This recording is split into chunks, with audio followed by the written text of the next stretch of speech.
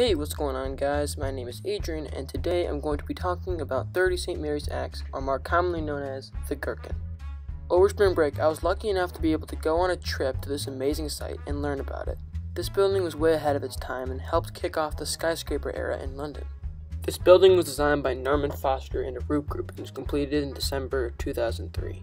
Standing at 80 meters or 591 feet, with 41 floors, this building has quickly become one of the most recognizable architectural sites in London.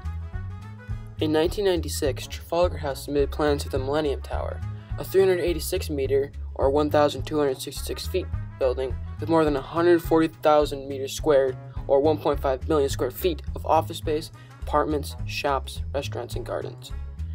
This plan was dropped after objections for being totally out of scale with the City of London and anticipated disruption to flight paths from both London City and London Heathrow airports. The revised plan for a lower tower was later accepted. The nickname the Gherkin is just another name for a pickled cucumber. This name is obviously inspired by the shape. However, the architects were inspired by the body of a plane. Generated by a circular plan with the radial geometry, the building widens in profile as it rises and tapers towards the top.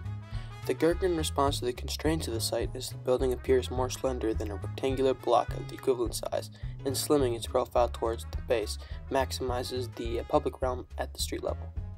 Its profile reduces wind deflections compared to a rectangular tower of a similar size, helping to maintain a comfortable environment at ground level and creates external pressure differentials that are exploited to drive a unique system of natural ventilation. We'll come back to that.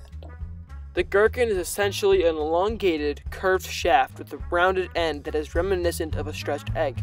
It is covered uniformly around the outside with glass panels and is rounded off at the corners. It has a lens-like dome at the top that serves as a type of observation deck. Despite the shape, there is only one actually curved glass, which is at the piece at the very top. Moving on to structure. In most modern rectangular buildings, the structure follows Le Corbusier's principles of a free plan and a free face. This building is very different from the more orthodox way of designing the structure due to its round barrel-like shape. The structure is really the triangular exoskeleton that surrounds the building. There are two major structure elements in the exoskeleton. The diagrid, which resists horizontal and gravitational loads, as well as the core, which just resists gravitational loads. The diagrid is very common in architecture seen in many buildings like John Hancock Center. As mentioned before, the gherkin creates an optimal shape in terms of aerodynamics to allow wind to essentially go right around it. Similar to how cars work, the air goes around it and reduces stress in the air and wind flow. As the climate begins to change, buildings have had to become more sustainable. However, the Gherkin was way ahead of its time, built in the late 90s and early 2000s. Global warming was definitely still a thing, but it wasn't as prevalent as it is now, and it's nice to see efforts to create greener buildings. There are many ways this building acts sustainable. The most obvious is the shape of the building and the floor plan. There are little breaks in the floor, and the building uses this as natural ventilation from the black ribs on the outside.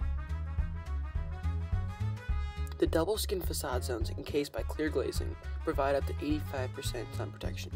In addition, the air between curtain wall layers will absorb solar heat, rise to the stack effect, and vent to the exterior through narrow slits at the top of each two-story structural bay. Gas is used as the primary source of energy in the building, which helps shrink the gherkin's carbon footprint. The fact that it is mostly glass is also helpful in terms of lighting. Reliance on energy for lights is heavily decreased due to the surplus of natural sunlight. This game changer in terms of skyscrapers was a perfect building to represent the turn of the millennia. It innovates in design, structure, and sustainability.